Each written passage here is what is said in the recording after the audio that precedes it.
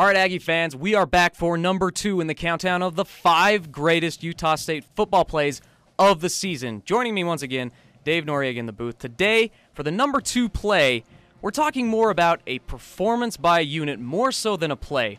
It is the 13 sack performance by the Utah State defense against San Jose State.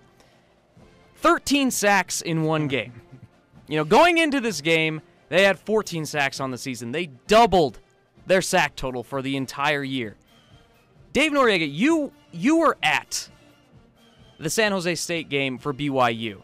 You saw what this team did against BYU. You saw them from the field level. So when you see what Utah State did defensively against them, what is your reaction to that? Well, obviously, after watching what Utah State did to that San Jose you know offense, I thought, oh, BYU's golden because their defense is so good. BYU's defense is, is one of the best defenses the Broncos certainly ever had, and maybe one of the best defenses ever. We saw what they did against the number one ranked Irish.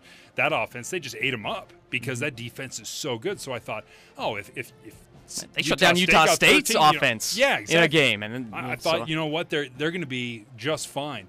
And then I saw firsthand this this San Jose offense in the first quarter do anything they wanted. Anything they wanted against that Cougar defense. They marched down. I think they scored 21 points in that first quarter. They just ate them up. And I thought, oh man, this this offense is actually really effective. I mean, it's not like they did it against a patsy of, of, an offensive team. San Jose State is a really good offensive team. They were really effective, and it wasn't until they got that that pressure that BYU started finally having success against that team because they they have a sound offensive set. And it didn't matter, like you said, it didn't matter what Utah State threw at them three, four, five, blitzing on the corners. It didn't matter because they, they always got to the quarterback and just blew up San Jose's uh, whole offensive strategy. And I was just, I, I, I, thought I was, I thought I heard it wrong. When, when someone told me, right. hey, you 13 sacks, I'm like, for the year? For the year? Uh, in a game? Yeah, I, yeah it, was, it was outrageous. The total for last season? We don't yeah. know. I, I know. That was that, unbelievable. And that's why I rank this play or this performance so high is because I want to know. I want to know what you gave number one.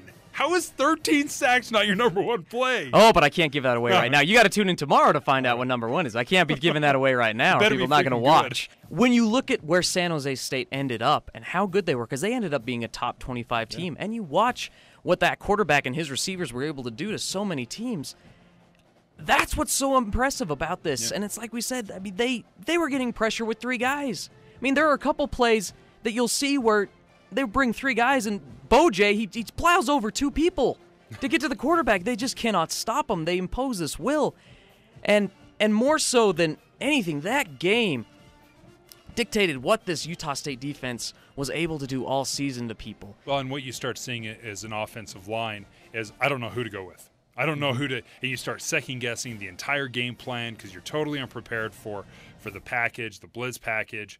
It, uh, you're just completely lost, and that's what happens. Is it's just that snowball effect where you start second guessing everything you've seen, and you really got to credit the coaching for that because yes. they they came in with a, a great game plan. Obviously, got them confused and frustrated, and that's how you you just start rolling up all those big numbers. Thank you for joining me here, Dave.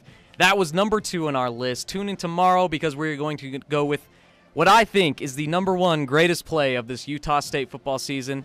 Uh, Dave, any guesses on what it is? Uh, I'm, I'm sorry, I'm at a complete loss since you already took the like 37 sack game off the table. I'm just, I'm still, I'm, I'm, i want to know what it is. I'm excited. I'll tune in. All right, thanks, Dave.